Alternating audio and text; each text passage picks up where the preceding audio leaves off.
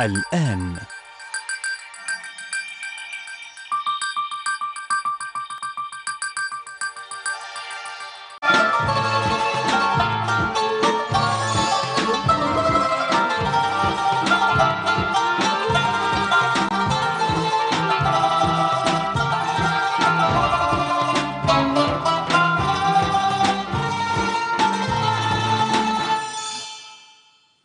بسم الآب والابن والروح القدس الإله الواحد آمين.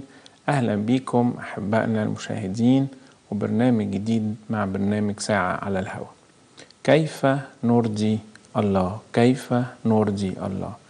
عنوان موضوعنا النهاردة بنتكلم إزاي نرضي ربنا. إزاي نرضي ربنا؟ هنشوف ليه وإزاي وإيه المعوقات ده يكون محور كلامنا. إحنا الحقيقة أبونا في القداس وطبعا آه، في ناس كتيرة فرحانة إنها تبتدي تنزل تحضر القداسات من بكرة. في برشيات كانت آه، متعطلة لسه لكن كل القاهرة والإسكندرية ومحافظات كتيرة في برشيات كتير. هنبتدي ننزل وناخد بركة القداس اللي بقالنا تقريبا يمكن داخلين في يعني قرب الخمس شهور ما حضرناش القداس. أبونا في القداس يصلي كده في الآخر خالص يقول علمنا أن نصنع مرضاتك في كل حين. علمنا أن نصنع مرضاتك في كل حين. يعني دي طلبة إحنا بنصلي لربنا نقول له يا رب علمنا إزاي نرضيك. وكتير قوي بنقول برضو إحنا بنصلي في القديسين الذين أرضوا اسمك القدوس. الذين أرضوا اسمك القدوس بنتكلم هنا على القديسين. والشهداء والمعترفين والأبرار اللي أرضوا اسم الرب في حياتهم. فإذا فكرة إن إحنا نرضي ربنا دي موجودة في صلواتنا وطبعا في الكتاب المقدس. يعني في مفتاح كده بولس الرسول في عبرانيين يقول لأنه بدون إيمان لا يمكن إرضاؤه. بدون إيمان لا يمكن إرضاؤه. إذا فكرة إرضاء ربنا دي حاجة مهمة قوي لازم تكون في بالنا على طول. ويكون هدف يعني يومي كل يوم في حياتي إن أنا أكون بقدم أعمال على مستوى فكري وعلى مستوى قلبي وعلى مستوى حواسي وعلى مستوى تصرفاتي إن أنا برضي ربنا. ليه وإزاي هو ده محور الكلام بتاعنا النهارده؟ بس المهم لازم نفهم الأول إن ده جزء من مش جزء ده محور هدف حياتنا إن إحنا نكون بنرضي ربنا. ليه؟ الحقيقة لما الواحد يقعد يفكر كده ويسأل نفسه هو أنا أرضي ربنا ليه؟ ما أنا عايش يعني أرضي نفسي أرضي اللي حواليا أبسط الناس وكلمة رضا ده يعني أخد رضاه أبسطه أسعده يبقى فيه مص... يبقى فيه سرور يعني حاجة حاجات كلها من المفهوم دوت طب وليه؟ الحقيقة تخيل كده نفسك أنت عايش مع أسرة و... ومحدش راضي عنك. ومحدش قابل كلامك. ومحدش يعني بيديك وش حلو. وانت مش بترضيهم ولا هم بيرضوك. الحياة هتبقى صعبة. والحياة مش هتبقى مريحة. وطبعا عمر ما هيكون فيها سلام. إذا هنا رضانا إحنا على بعض. مرتبط باستمتاعنا بالحياة. مرتبط بالفرح. مرتبط بالسلام. ولو واحد ماشي عايش في حياته عمال يرضي نفسه بس كل الناس هتبعد عنه. كل الناس هتبعد عنه. إذا رضا ربنا ده بيأكد إيماننا بوجوده. بيأكد إيماننا بوجوده. كمان بيأكد علاقتنا بيه. إذا كنت بقول لك لو أب وابنه لا يقول لك أصل أنا مش راضي عن ابني فتلاقي الأب هنا حزين.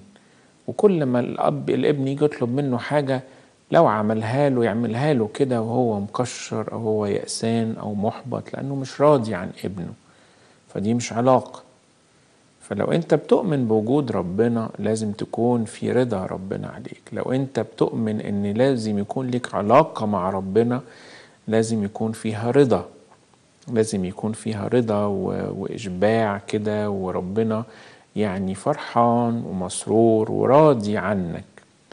كمان لأن رضا ربنا بيأمن لنا حاجات كتيرة قوي. رضا ربنا علينا يأمن لك الأبدية. ولو قلت لي يا ابونا دي الأبدية دي بعيدة قوي هقول لك ده رضا ربنا مش بس يأمن لك الأبدية ده يأمن لك يومك. ده يأمن لك يومك في كل حاجة هتعملها. ساعات كده إحنا بالمثل البلدي يا عم الله يرضى عليك. مش نقولها كده؟ الله يرضى عليك. يعني يا ابني عشان ربنا يرضى عليك اعمل الموضوع دوت. أو لما واحد يبقى الحياة ماشية معاه كويس يقول لك أصل فلان ده ربنا راضي عنه. فإذا هنا رضا ربنا مربوط قوي بتأمين حياتنا. مش عشان ربنا هو المتحكم ولا عشان ربنا هو المتسلط لكن ده عشان طبيعة الحياة. زي لما يكون واحد ماشي مع الشيطان قد يبدو إن هو سعيد قد يبدو إن هو فرحان إنما عاقبة أعماله إيه؟ أكيد إثم وأكيد شر وأكيد خطر وأكيد آخرته إيه؟ دي حتمية طبيعية للي ماشي مع الشيطان. حتى لو ماشي مع الشيطان بيضحك. حتى لو ماشي مع الشيطان وهو فاكر إن هو كده فرحان. لكن هو في عاقبة لكل ما يفعله عاقبة طبيعية. أصل الشيطان لما ترضي الشيطان هتاخد منه إيه؟ يعني ما هو الإنسان الناصح يفهم والإنسان الحكيم يعرف عشان يقول لك رأس الحكمة مخافة الله. فلما أقول لك نرضى رب نرضي ربنا ده معناه إن أنت بتؤمن بوجوده ومعناه إنك تؤمن إن لازم يكون في علاقة ما بينك وما بينه. ربنا ده مش بس خلقنا كده وبعدين وجوده في حياتنا عشان خاطر يحقق لنا طلباتنا وهو اللي يرضينا. صحيح هو بيرضينا كتير قوي. بس إحنا كمان في المقابل لازم نكون بنعمل أعمال كلام أفكار مشاعر تكون بترضي ربنا. كمان رضا ربنا يأمن لك الأبدية ويأمن لك يومك. يأمن لك يومك. وكلمة الأمان دي كلمة مهمة قوي لكل الناس. إحنا يمكن بقينا نحيا في عالم المخاطر فيه بقت سريعة حوالينا. وكلنا عمالين نسمع أخبار ده مش بنسمع ده إحنا عايشين في أخبار حروب وأخبار أمراض وأخبار تقلبات وأخبار نصحى تاني يوم نلاقي يعني يا فتح يا عليم كده إيه اللي بيحصل النهاردة. وولادنا كده عمالين طول النهار عمالين يضحكوا يقول لك سنة عشرين عشرين دي كل شهر بحاجة جديدة. الله أعلم أدينا بنشوف. فإذا لما أقول لك أنت عايز تعيش في أمان تأمن لك يومك يأمن لك الغد يأمن لك الأبدية حط دايرة جوه حط نفسك جوه دايرة رضا ربنا. مهم قوي إن إحنا نكون حاطين رضا ربنا قدام عينينا. ربنا هو الحياة. أنا هو الطريق والحق والحياة. مشيت في رضاه بتكسب حاجات كتيرة قوي. وطبعا بتعاني. يعني لأن برضو فكرة إن إحنا ماشيين مع ربنا فما فيش آلام أو ما فيش أتعاب أو ما فيش ضيقات العكس الحقيقة ده هتلاقي فيها. وخلي بالك لنفس الألم والضيق أنت هتتعرض له لو أنت ماشي مع الشيطان برضه لأن هي الحياة كده.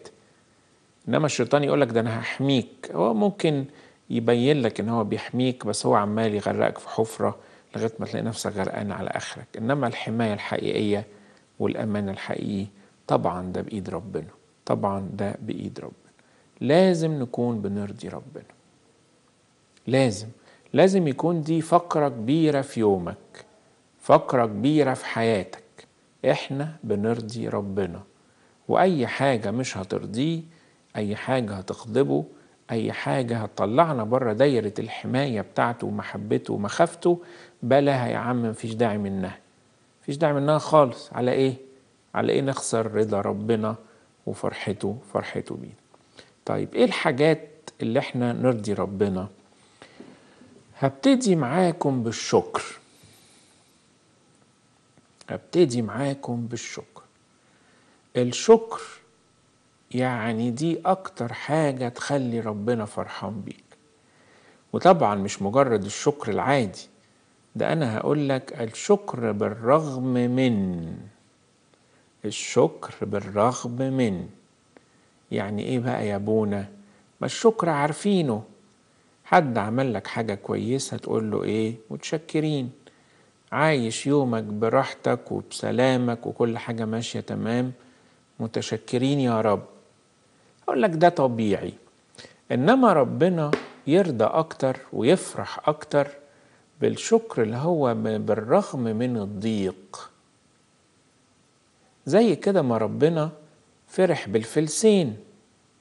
وليه فرح بالفلسين؟ طب ما هو الراجل اللي كان واقف جنب الأرملة ادى أكتر منها.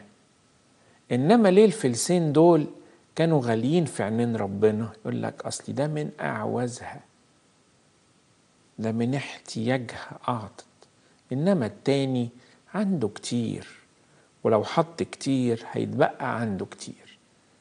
والتاني لو فكر زيها مش هيقدر يعمل زيها. فزي ما هنا بنقول برضو ربنا بيفرح بالعطايا لما تكون من الأعواز. ربنا مش ناقصه عطايانا. نقطة مهمة قوي في وسط الكلام.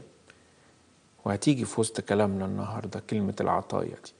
بس هقول لك هنا الأرملة كانت في عينين ربنا عطية كبيرة وحلوة لأن من أعوازها. كذلك الشكر أيضا لما يكون من الأعواز الشكر بالرغم من الضيق الشكر بالرغم من التعب الشكر بالرغم من الألم الشكر بالرغم من التجارب الشكر بالرغم من الفقر الشكر بالرغم من الاحتياج. يعني تخيل كده واحد رب أسرة قاعدين كده ولقمة بسيطة قدامهم. فابنه ما يعجبوش الأكل. وده بيحصل ساعات. ما يعجبوش الهدمة. ما يعجبوش الفسحة. يقول له بابا ده أنا أصحابي بيعملوا. هو ده أكل ده. فالأب يقول له يا ابني نشكر ربنا دي نعمة. يا سلام. بصوا الأب أو الأم أو الابن العاقل. دي نعمة يا ابني. ده في ناس كتير مش لاقياها. ويبوس اللقمة البسيطة كده ويحطها على جبينه كده. يعني زي ما اتعلمنا زمان نبوس ايدينا وش وظهر على اللي عارفينه واللي مش عارفينه على القليل وعلى الكتير. دي في عينين ربنا كبيرة.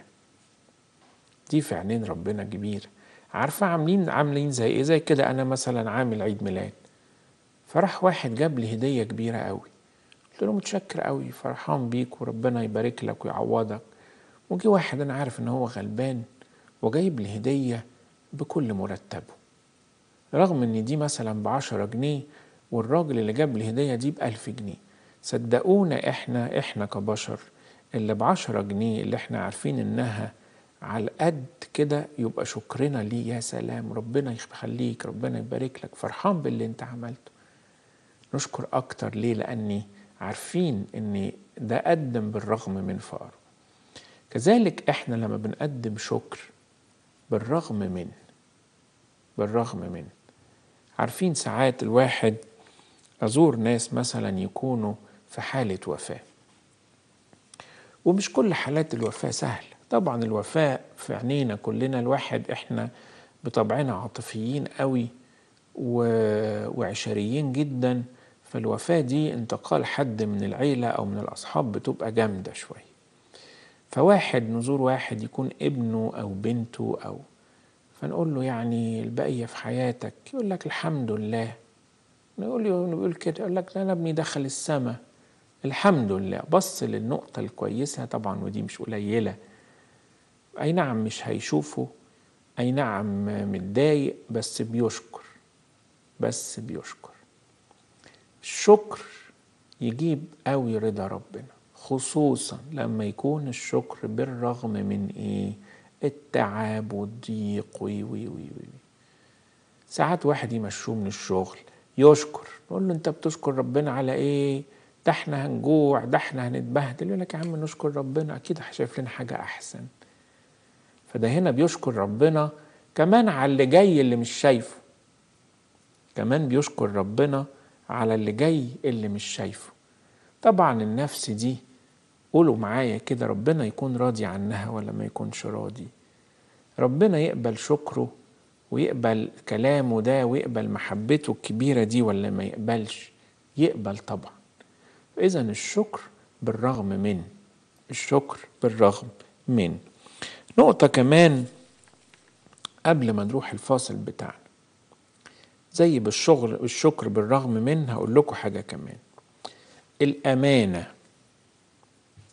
الأمانة من الحاجات اللي ترضي ربنا قوي علينا وتبسط ربنا. أنتوا عارفين ربنا دايما يكرر أنتم نور العالم أنتم ملح الأرض يروا أعمالكم الصالحة.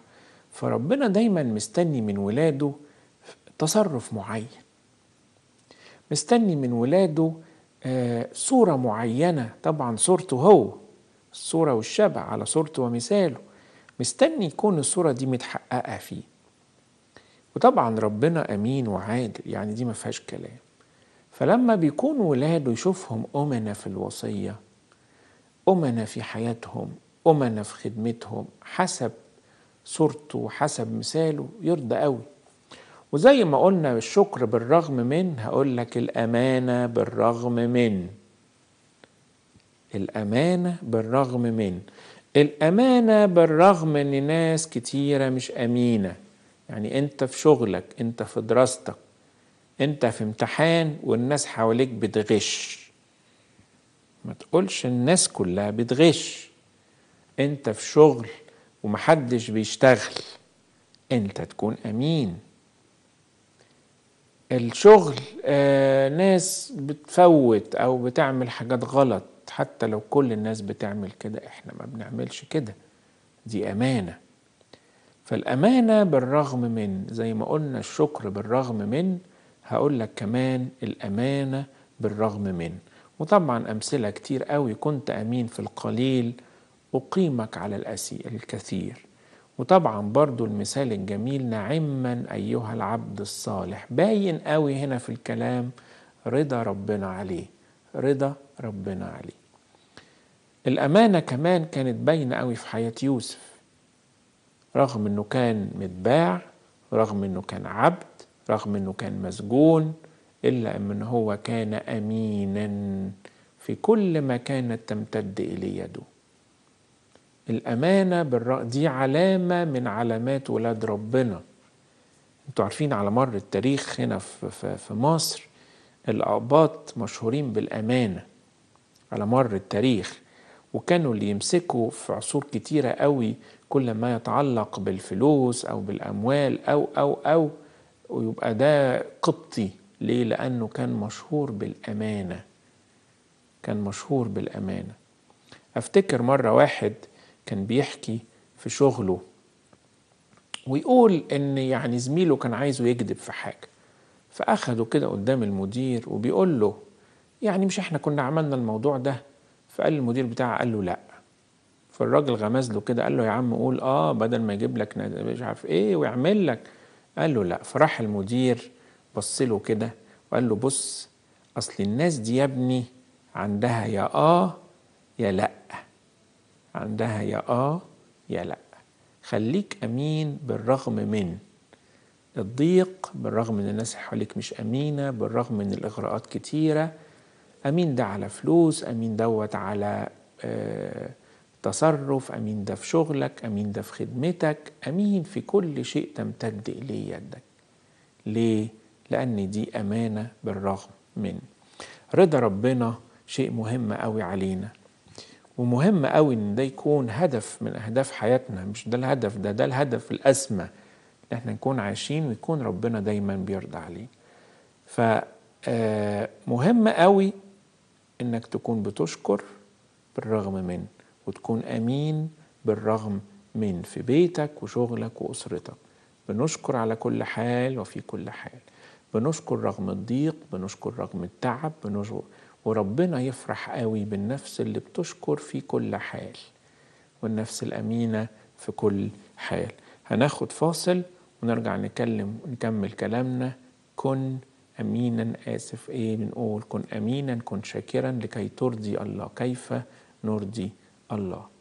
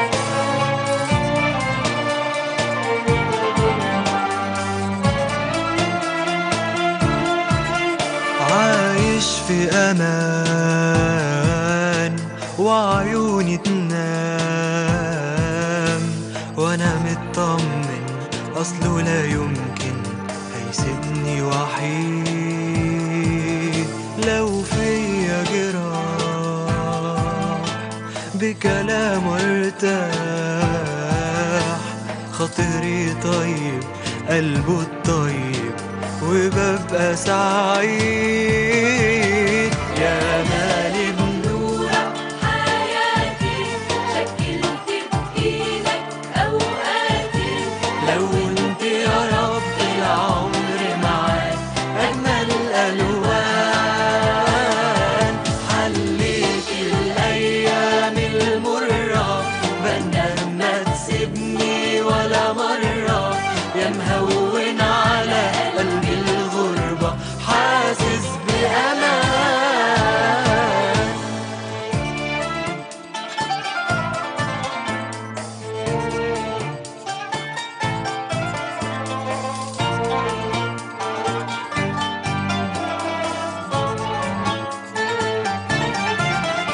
سندي في أيامي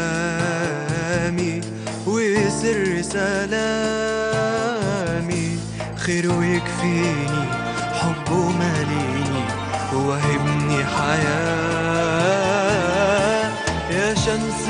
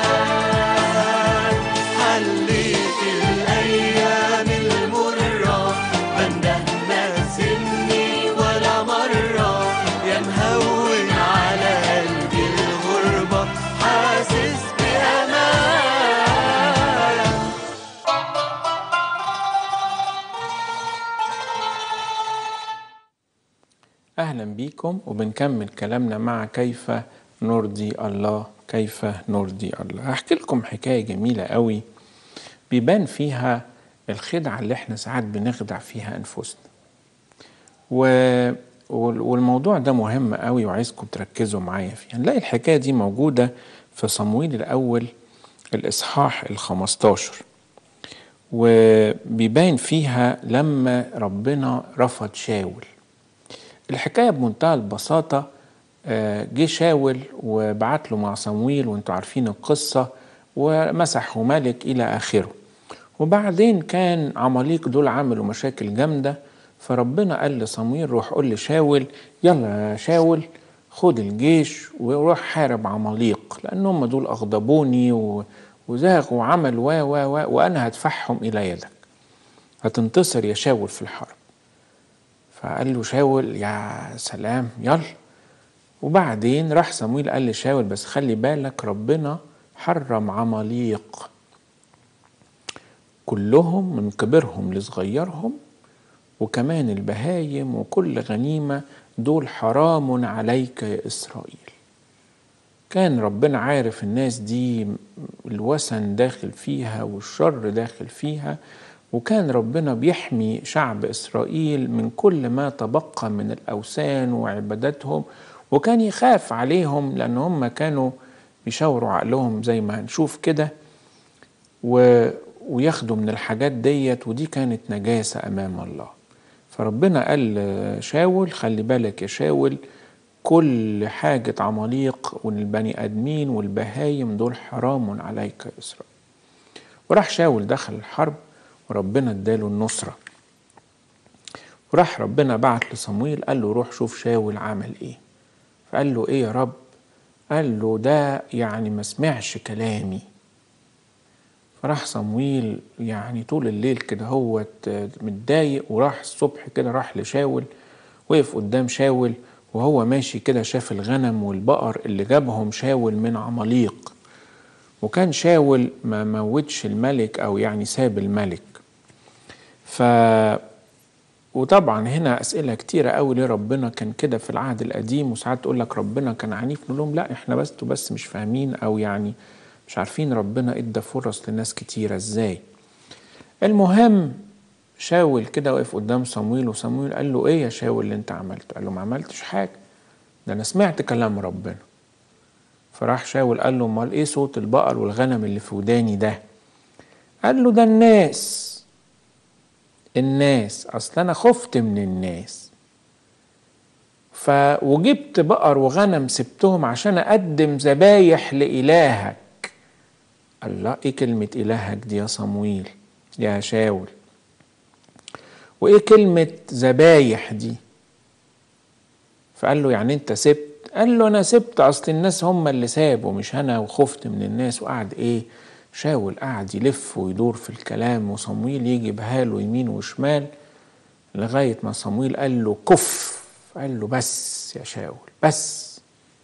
قالها له كف كده قال له اسكت خالص. عمال تيجي يمين وشمال ما تقول أنا غلطان.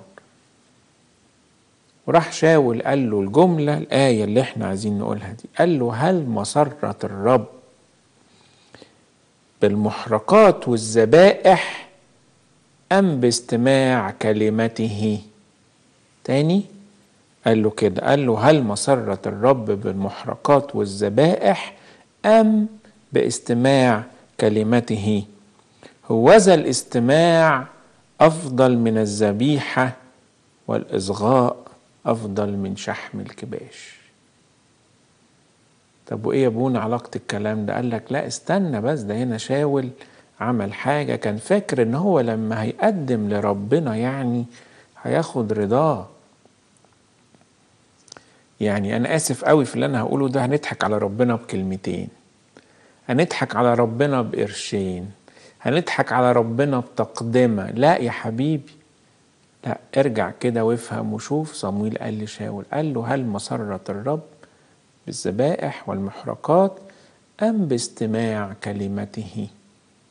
هوذا الاستماع أفضل من الذبيحة ومن شحم الكباش.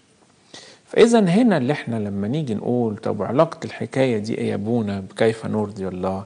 أقول لك خلي بالك.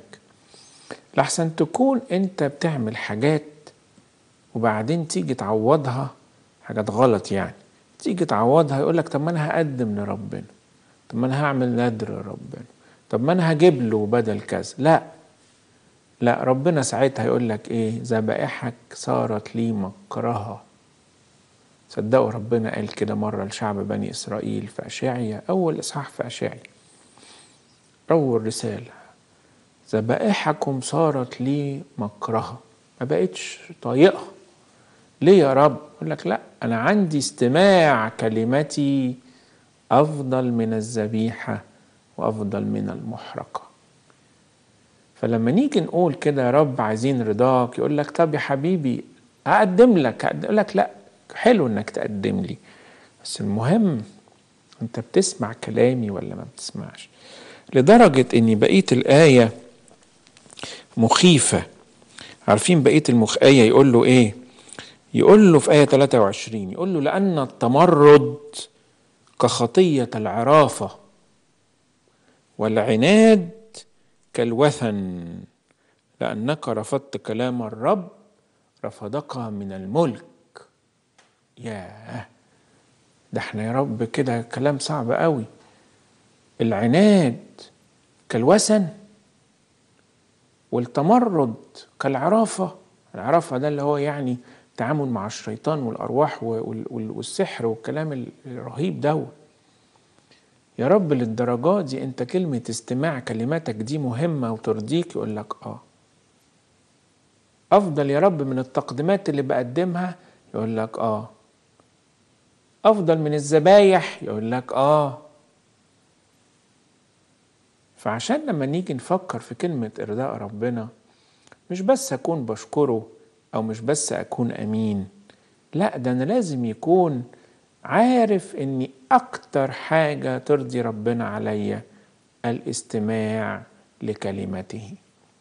والخطية اللي وقع فيها شاول هنا مش مجرد إن هو يعني ما سمعش الكلام لا ده كان تبريرات بقى كتير قوي لما تقروا الإصحاح كده بعد ما نخلص الحلقة يا ريت تفتحوا تقروا في ملوك أول خم... صمويل أول 15 سفر صمويل أول إصحاح 15 وتشوفوا إزاي الحوار ما بين شاول وصمويل عمال يلف ويدور. يقول له لا أصل أنا خفت من الشعب.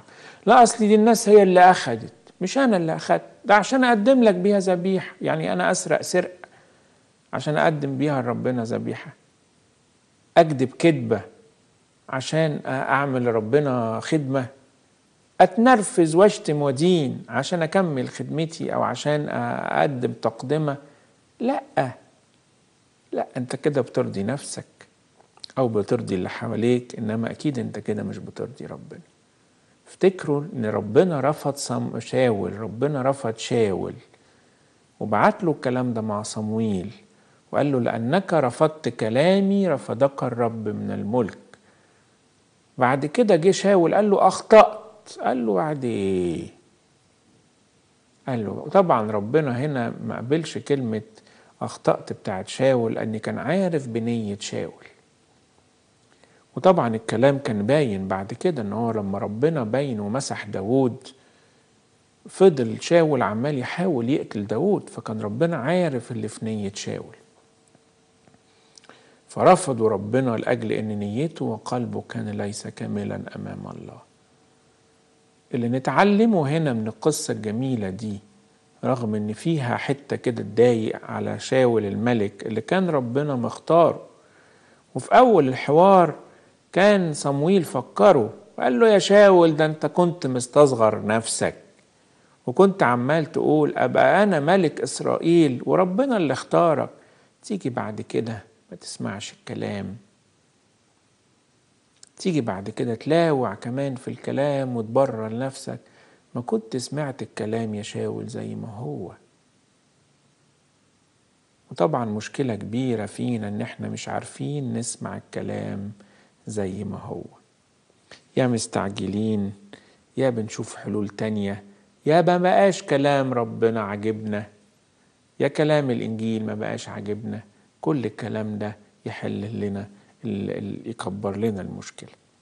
تاني هقول لكم زي ما كده هوت صمويل قال لشاول أما سرت الرب بالذبائح والمحرقات أم باستماع كلمته؟ فإذا هنا أكتر حاجة ترضي ربنا إنك تكون مصغي لوصيته وبتسمع لكلامه.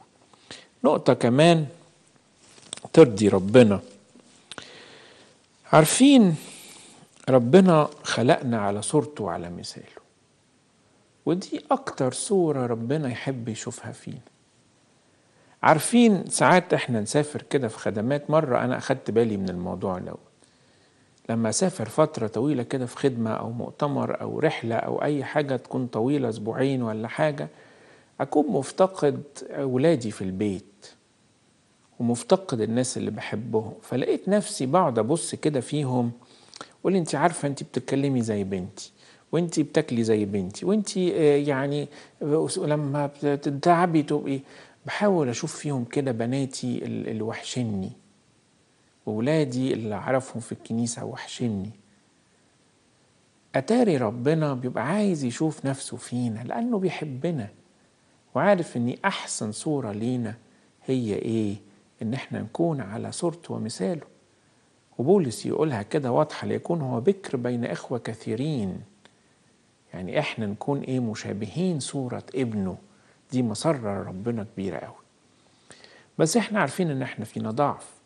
عارفين ده بياخد مننا تغيير. هو ربنا بقى بيرضى علينا لما يشوف التغيير فينا ده. فرضا ربنا علينا لما يحس إن ولاده حبايبه كبار صغيرين ولاد وبنات عندهم شغف إنه يتغيروا عشان يكونوا شبهه. ولو حتى بعد سنين. مش مهم توصل إمتى المهم تكون بتتغير. فربنا يفرح عامل زي المدرس اللي يشوف عنده تلميذ شاطر يبقى فرحان بيه. بس لما يشوف تلميذ كده كان ضعيف بس عمال يبذل مجهود يساعده أكتر ويفرح بيه أكتر. ابني هذا كان ضالا إيه؟ فوجد اتغير تاب ورجع. ده السماء تفرح بخاطئ واحد يتوب. إذا كما أن الرب يصر باستماع كلمته كذلك ربنا يفرح قوي بالنفس اللي بتتغير. ويقول الكلام ده في أشعيا 11 يقول الكلام ده في أشعيا 11 يقول إيه؟ فتكون لذته في مخافة الرب. تكون لذته في مخافة الرب. وبعدين في الآيات اللي بعديها يقول لك بقى إيه؟ فيلعب الأسد مع الجدي الله إيه يا, إيه يا رب ده؟ يعني إيه الأسد يلعب مع الجدي يعني إيه الدب مع عيل صغير؟ ويعني إيه عيل صغير مع في حجر يلا حط إيده في حجر الأفعوان؟ إيه إيه الكلام اللي بتقوله ده؟ اشاعي يقول لك ما دي النفوس اللي بتتغير بقى. دي النفوس اللي بتتغير. كان في خروف وكان في ذئب. ده اتغير وبقى اتغير فالاتنين بقوا يتعاملوا مع بعض. ده شكل الكنيسة. ده شكل العالم اللي ربنا يبقى فرحان بيه. التغيير اللي النفوس عارفين ربنا يبقى راضي قوي عن النفس اللي كل يوم تتغير عن اليوم اللي قبلها تقرب منه وتحبه أكتر وتعرفه أكتر. كل دي حاجات تفرح قوي ربنا. يبقى لغاية دلوقتي إحنا قلنا حاجتين يفرحوا ربنا ويبقى راضي علينا. أول حاجة قلناها استماع كلماته. افتكروا لما ربنا رفض شاول. وقال له لا يا شاول مش بالذبايح ولا بالمحرقات ولا بلحم الكباش إنما بإيه؟ باستماع كلمته. قال له خلي بالك ده العناد ده زي العرافة والتمرد ده زي الوسن بصوا كلام جامد قوي على فكرة يعني الآية دي تجيب لنا قد إيه ربنا يبقى فرحان لما نسمع كلامه وصاياه إنجيله ترتيبه كنيسته كل هذا الكلام نسمع ربنا يفرح. نعاند ونكابر. ربنا ونتمرد ربنا يعتبره إيه؟ وثن ويعتبره عراف نلاقي الكلام ده واضح جدا كده باللفظ في صمويل الأول الإصحاح الخمستاشر. قلنا كمان ربنا يرضى علينا لما نكون بنتغير نبقى على صورته ومثاله. ما نبقاش ثابتين في مكاننا اللي بيكذب يبطل يكذب واللي كان ملاوع يبطل واللي كان متكبر بيتضع واللي كان متمرد بيخضع واللي كان ماشي في النجاسة بينتصر كل يوم واللي كان عينيه مش عارف يسيطر عليها بقى يعرف يسيطر عليها. رضا ربنا يحميك ويأمن لك حياتك. رضا ربنا يحسس لك إن حياتك ليها معنى وليها هدف. قبل ما نروح فاصل ناخد حاجة كمان آه، مهمة قوي. فاكرين العشار والفريسي؟ فاكرين لما فوق أول الحلقة قلنا المرأة ال- الفقيرة الأرملة اللي أعطت كده من أعوازها الفلسين والفريسي؟ وكمان برضو فاكرين العشار الخاطي. ربنا يرضى عن النفس المتضعة. لأن يقول كده المتكبرون يقاومهم. الرب. ياه. ده مش بس ما يبقاش راضي عليهم ده يقاومهم. ساعات الناس تتكبر وتفتكر إن الناس ضدها. الطريقة هي اتمحورت حوالين ذاتها وما بقتش مهتمية غير بذاتها وكرامتها. وإنها تفضل كبيرة. والناس دي ربنا بيرفضها. لا ده بيقاومها. أما المتضعون فيرفعهم الرب. ولما وقف كده العشار وقف كده هو الراجل التاني اللي كان شايف نفسه بار الفريسي ده ولا أيا كان واقف عمال يقول اللهم إني مش أشكرك يا رب إني لست مثل هذا العشار الخاطي هو فاكر إن هو بيقول كده؟ بي- ربنا هيفرح بيه أتاري ربنا كان فرحان بالواقف وبيقول أنا خاطي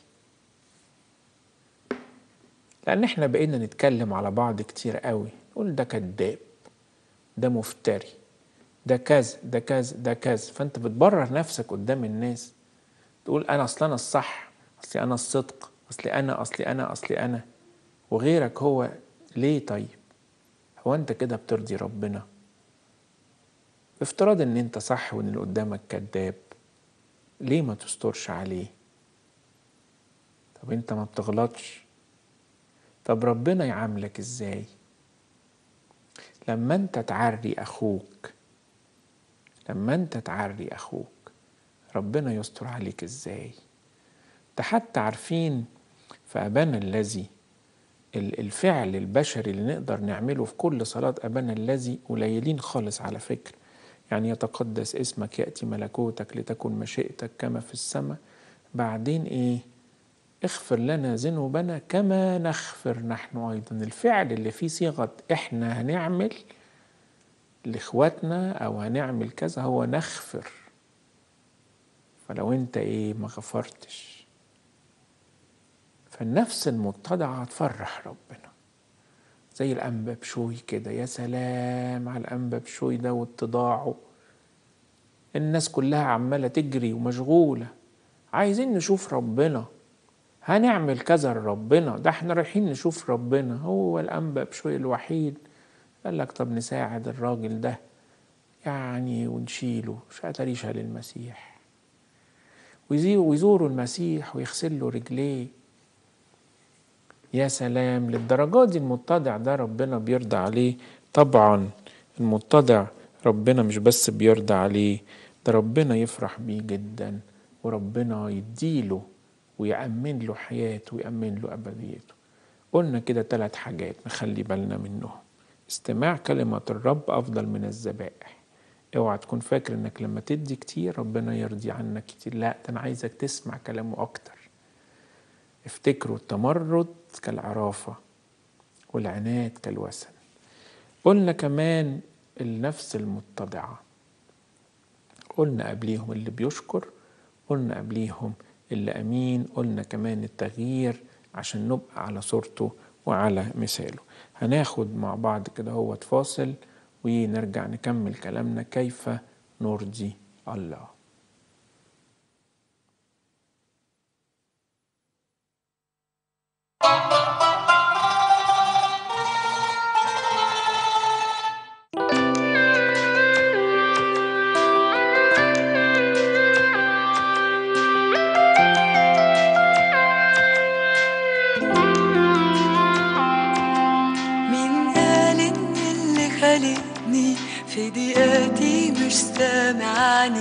ولا شايلني في آلامي مين قال ان أنا لوحدي وأنت يا إلهي جنبي ومعايا كل أيامي.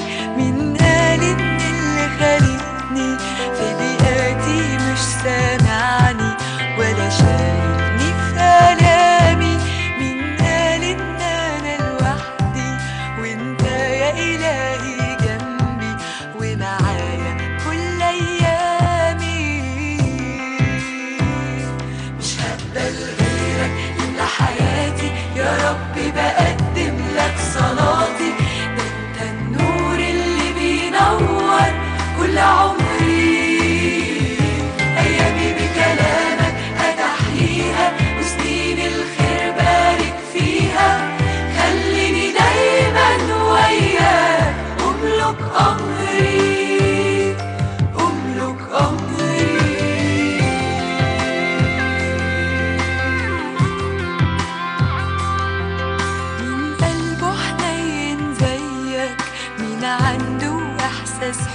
back, we were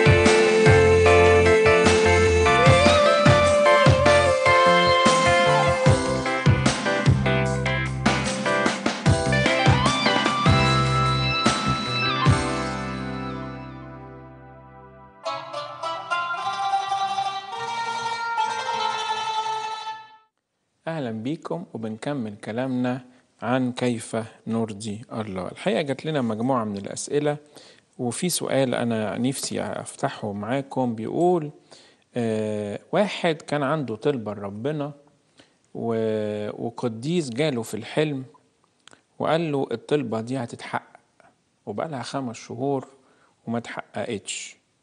ولا ده ممكن ما يبقاش قديس وده العقل الباطن. وارد جدا جدا جدا. بصوا يا أحبائي إحنا يعني في أمور بقينا نبالغ فيها شوية فكرة بقى حلمت بفلان وقال لي وأنا شفت لك في رؤية وأنا شفت لك الكلام ده كتر قوي قوي قوي قوي قوي وساعات ما بيبقالوش له أصل روحي خالص. خلينا نطلب اللي إحنا عايزينه من ربنا وننتظر عمل الله.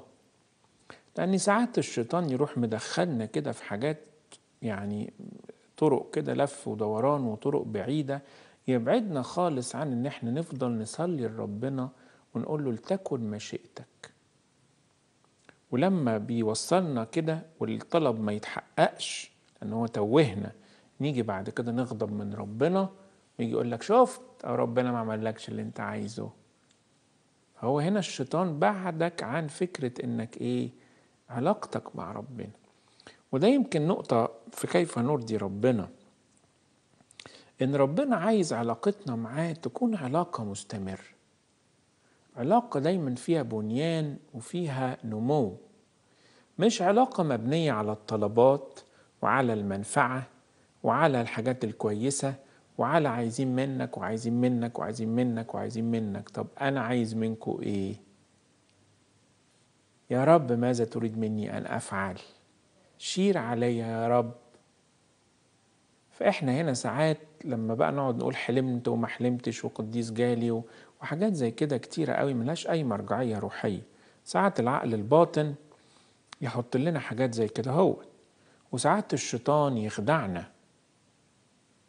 إحنا لينا بالكنيسة بتاعتنا لينا إن إحنا نروح ناخد بركة القديسين ونطلب إن هم يطلبوا عننا. بس لكن لا بنجري بقى ورا أثر ولا بنجري ورا كلام الكلام دوت. حقيقة جديد على مجتمعنا الكنسي الأرثوذكسي. وما يصحش إن إحنا نكون عمالين نتطرف قوي في هذا الكلام.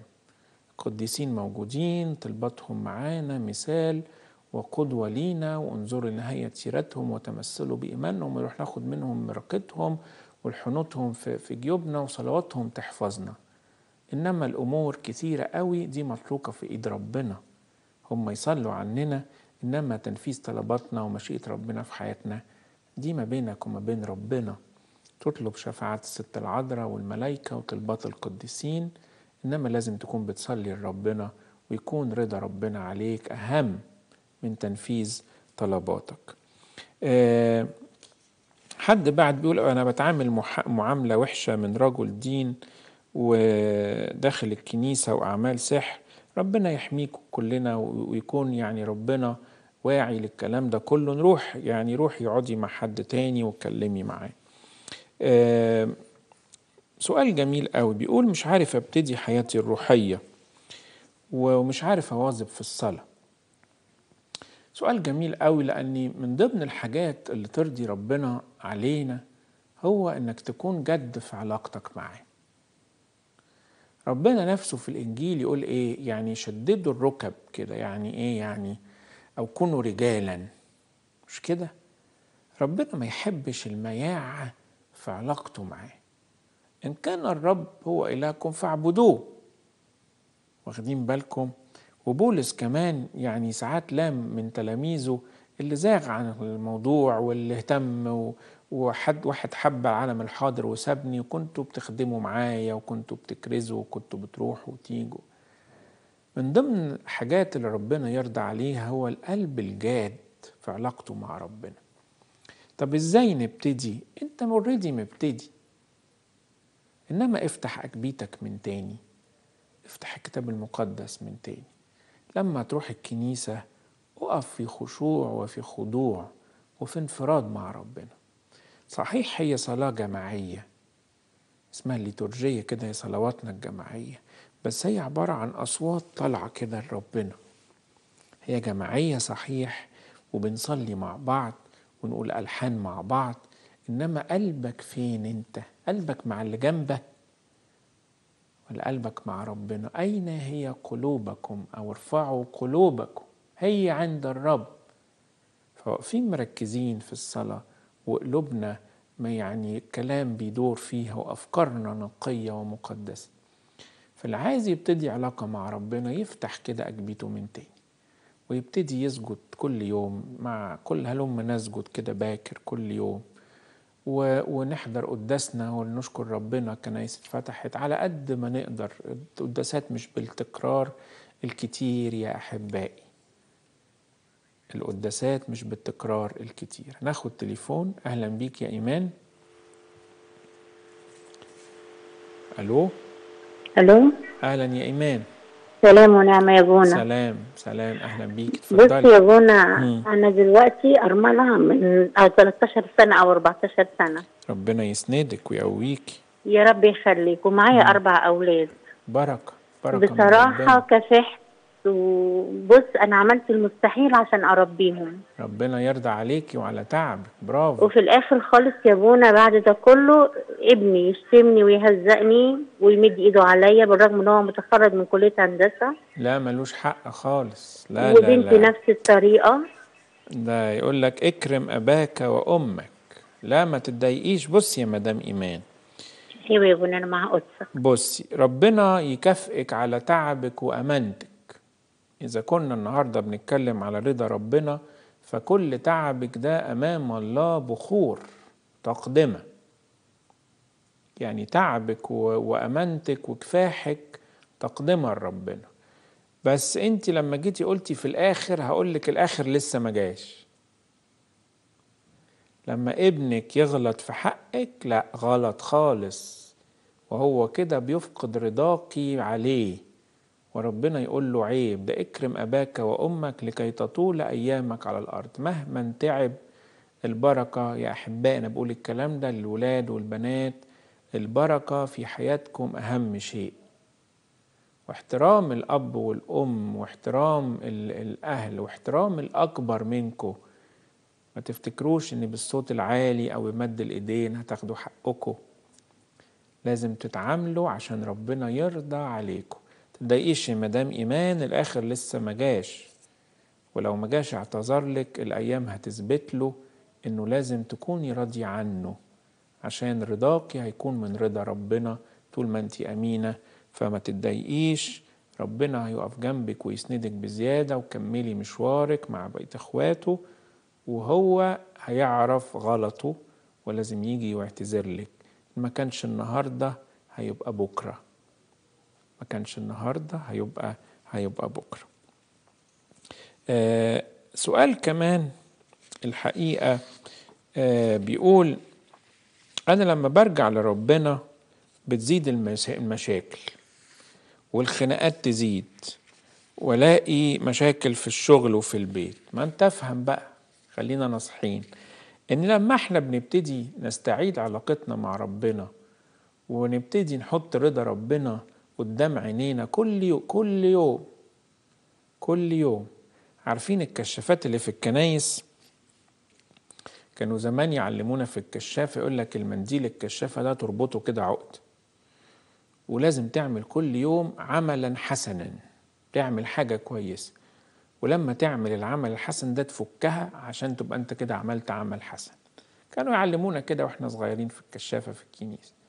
بس هو الموضوع أكبر كده ده مش عمل حسن واحد أنا عايز يومه كل يوم كله يكون تقدمه لربنا فلما الشيطان بقى بيلاقينا بنعمل كده عايز ترضي ربنا يا حبيبي طب تعالى لي كده. فيبتدي يزود عليك الضغط يزود عليك الحرب يبين لك إن في مشاكل. لكن نغني كده ونقول مع بولس قول يعظم انتصارنا إيه؟ بالذي أحبنا. من سيفصلنا عن محبة المسيح؟ أشدة أم ضيق أم اضطهاد أم جوع أم عري أم خطر أم سيف. شوفوا لدرجة إيه؟ ما نتأثرش بالشيطان ولا بحربه فما يهمناش. فلما تلاقي إن الشيطان بيضيق عليك كمل في رضا ربنا كمل في منهجك. معانا تليفون من مينا. أهلا بيك يا مينا. ألو؟ ألو؟ أهلا يا مينا. صابونه بيك. الأيادي. أهلا بيك حبيبي. اتفضل. أهلا بيك. صابونه أنا كنت يعني جاي عندي دور اكتئاب جامد قوي و... وتعبت كده من سبعة ثمان اشهر بسبب السكر الكلى و... وفجأة صابونه و... وعناية وقاعد من الشغل من ساعتها وتعبان جدا جدا وحالتي النفسية صعبة قوي وعمال أعيط على طول. و... ويعني مكتئب جدا يا صابونه مش عارف أعمل إيه. وبصلي كتير لربنا برافو. و... شاطر. و- صح. وأثر أثر على عيني السكر. ف يعني أنا مكتئب جدا جدا. وحاسس لا يا مينا لا يا. مينا لا ما تكتئبش. أنت قلت في وسط كلامك كلام. أي واحد فينا هيبقى معاك مكانك يا مينا هيبقى متضايق. أي واحد فينا هيبقى عنده سكر وتعبان وضغط والسكر لما بيبتدي يعني يلعب في الجسم بيبقى بيبهدل الواحد. فأي واحد فينا مكانك هيبقى متضايق يا مينا وأنت قلت في وسط الكلام برضو إن أنا بصلي برافو خلي عندك إيمان يمين. ونحل مشاكلنا واحدة واحدة. السكر يلا نروح لدكتور ونظبطه. ولو الدكتور ده مش عارف يعالجنا نشوف غير واحد واتنين عشان لغاية لما يديلنا كده إيه يعني ظبطة كويسة لغاية ما نبتدي يقل في مستوى في الدم. نمرة اتنين الشغل نبتدي نشوف حاجات ينفع نشتغلنا وإحنا تعبانين. يعني حاجات كده هو على القد آه، لو شغلانة بسيطة نعملها حاجة مش دايما طول اليوم عشان برضو الإرهاق الكتير ده ممكن يتعبك. لكن كده كده الحزن مش مش مش إيجابي ولا بناء ولا الاكتئاب. لا أخرج بره اكتئابك يمين ونتعامل مع المشكلة وخلي عندك إيمان في كل ضيقهم تضايق. وملاك حضرته أنقذهم. ربنا موجود يا أحبائي. ربنا موجود وربنا بيسند وربنا بيعين. تأكدوا من ذلك. الشيطان يحاول يشيل الصورة دي من قدام نحل مشاكلنا بجراءة ونحل مشاكلنا بإيمان. إنما الحزن والاكتئاب يخلونا يوقعونا في حفرة ما نعرفش نطلع منها. وطبيعي ان يعني مينا طبيعي إن أنت تكون متضايق. مين هيبقى في وضعك مش هيبقى مش هيبقى متضايق. ربنا يعينك حل مشاكلك بجراءة وبإيمان. أخيرا يا أحبائي آه، قبل ما نختم سؤال أخير بيقول يعني إيه مزاجا حسنا للهواء اللي بنقولها في القداس؟ يعني معناها اعتدال الجو. معناها اعتدال الجو. بلاش العواصف الجامدة دي يا رب اللي بت- بتهزنا كلنا. آه، أخيرا يا أحبائي رضا ربنا مهم جدا يأمن لك حياتك ويديك السلام ويديك الفرح يبعد عنك الشر يبعد عنك اللعنة يزود البركة في حياتك. مهم أوي إنك تشكر في كل حين. مهما كان افتكر نشكر بالرغم من. مهم أوي إنك تكون أمين. مهم جدا. فاكرين لما جالنا التليفون من مدام إيمان أمينة في تربيتها لعيالها. يا سلام. أهم حاجة الإنسان يكون أمين بكل الرغم منه أخدنا كمان قلنا على صمويل وشاول إن استماع كلمة ربنا أهم من إنك تقدم له ذبايح ومحرقات وافتكروا إن العناد والتمرد ربنا قال ده زي الإعرافة والوثن. قلنا كمان النفس المتضعة رضا ربنا. قلنا العلاقات المستمرة المبنية على النمو. قلنا الشبه نكون على صورته وعلى مثاله والتغيير. كل دي حاجات تكون بترضي ربنا. يا رب ربنا يكون راضي عننا. ونقف قدامه كلنا. يعني هو فرحان بينا وفرحان بعملنا. لإلهنا كل مجد وكرامة من الآن إلى الأبد. آمين.